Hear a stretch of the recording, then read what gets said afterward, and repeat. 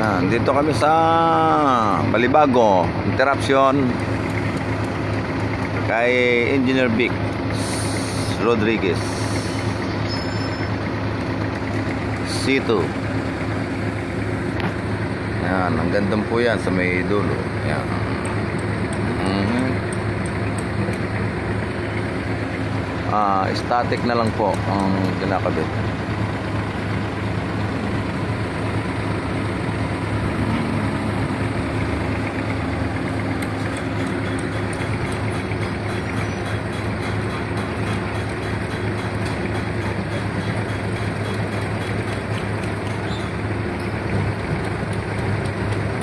Wala pa pong masyadong tao. Mamaya marami ng tao.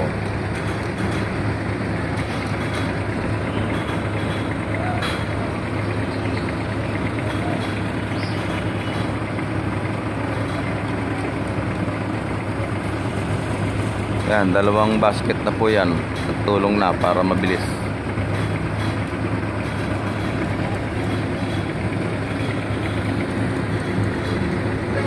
meron pong tindahan dito ah tindahan po ng mga ulam.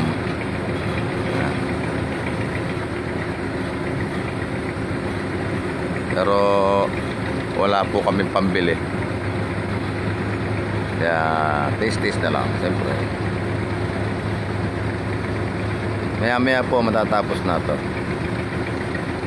Kaya taste taste lang po yan